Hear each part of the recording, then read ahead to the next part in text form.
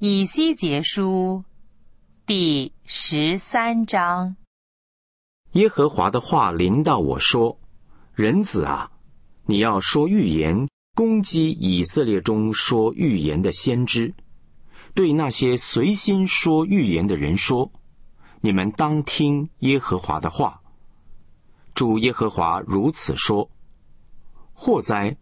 那些愚顽的先知。”随从自己的心意，却一无所见。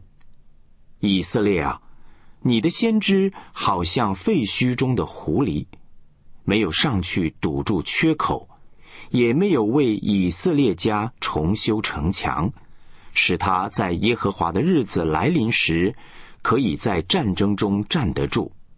他们看见的是虚假，是谎诈的占卜，说是耶和华说的。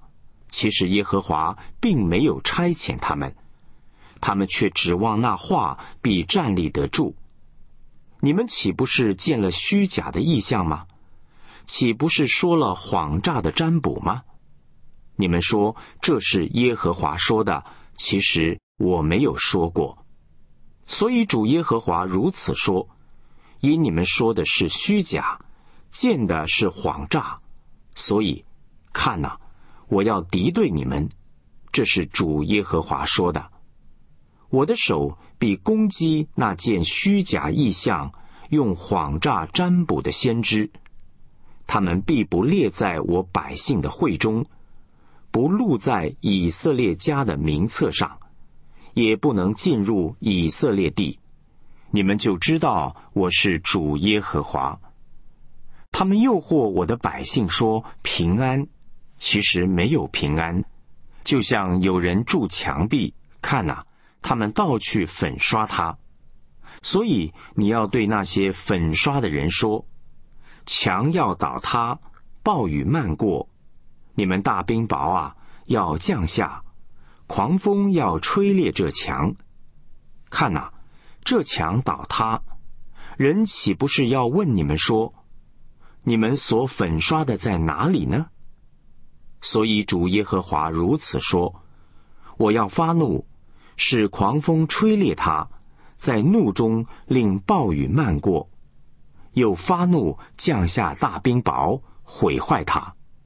我要这样拆毁你们那粉饰的墙，把它夷为平地，以致根基露出，墙一倒塌，你们也要在其中灭亡。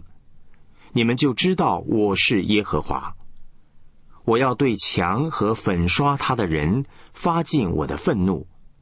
我要对你们说：墙没有了，粉刷它的人也没有了。这就是以色列的先知。他们指着耶路撒冷说预言，见到这城平安的意象，其实没有平安。这是主耶和华说的。你人子啊！要面向你百姓中随心说预言的妇女们，说预言攻击他们，说：主耶和华如此说：这些妇女有祸了，他们为众人的手腕缝驱鞋带，替身材高矮不同的人做头巾，我要猎取人的性命。难道你们要猎取我百姓的性命，使自己存活吗？你们为几把大麦、几块饼，在我的百姓中亵渎我，对那肯听谎言的百姓说谎言，让不该死的人死，让不该活的人活。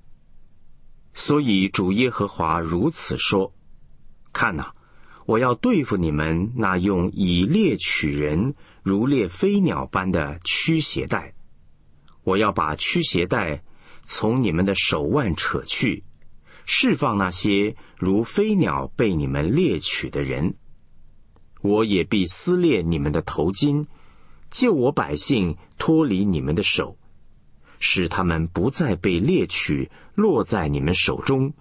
你们就知道我是耶和华。我未曾使一人伤心，你们却以谎话使他伤心。且又兼顾恶人的手，不使他回转离开恶道，得以存活。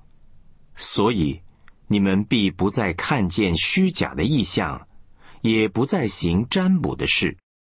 我要救我的百姓脱离你们的手，你们就知道我是耶和华。